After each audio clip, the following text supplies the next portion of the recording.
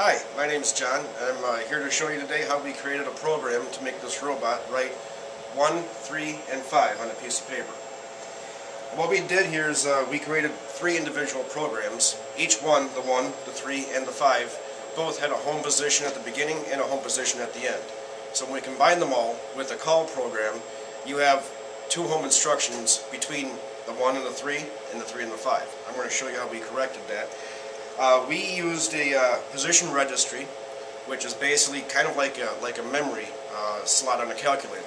Since we're going to use the same position at the beginning of our 1 and at the end of our 5, telling the robot where to start from and where to end, we created a registry so that that same point can be used at the beginning. We also had to use the replace command when we're, uh, when we're replacing our, our, our motion speeds from 100 millimeter per second to 250 millimeter per second. Because first when we write the program, we want the, ro the robot to move slowly so we can test everything out.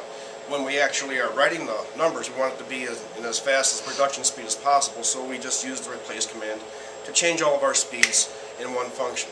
I'll show you that in just a second.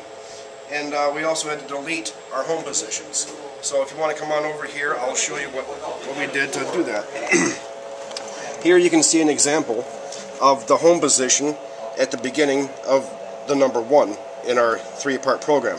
So what we're going to do to delete that is we're going to go up to Edit Command, go down to Delete, delete the line, yes. Now we've deleted that home position. We've got a registry at the beginning of our call program, which is going to call this as the first of the three programs. So we don't need a home position at the beginning of this program.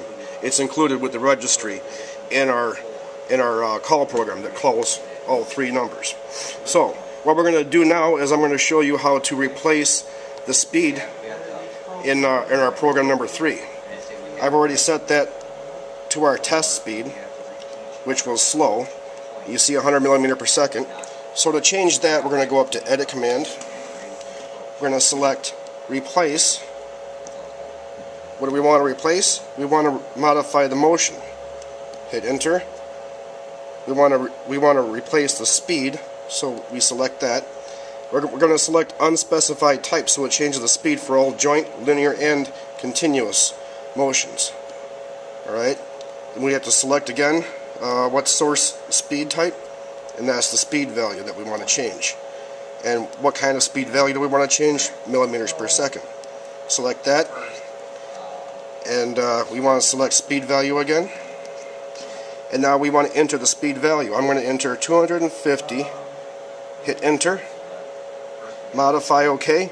Yes, I want to, I want to modify all the lines. I'm going to hit F2, and you can see it just changed all the motion speeds to 250. So, now we've, we've deleted our home position, we've changed our motion speeds, and I told you how we use the motion registers. So now okay, we're ready to run our program. run our program. I'm going to show you how to use the call function. We've added programs 1 and 3 already in our call program, our master program, which we're calling JHF135. I'm going to show you how we called up program number 5. So what we're going to do is we're going to hit instruction. We're going to go down to the call feature. We're going to call a program.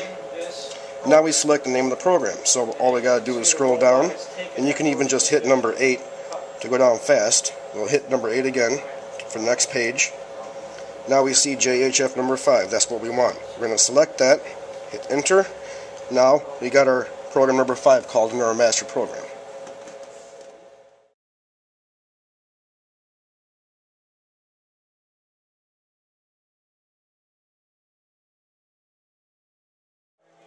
Okay folks, we're going to watch our program run now at 100% rate of speed.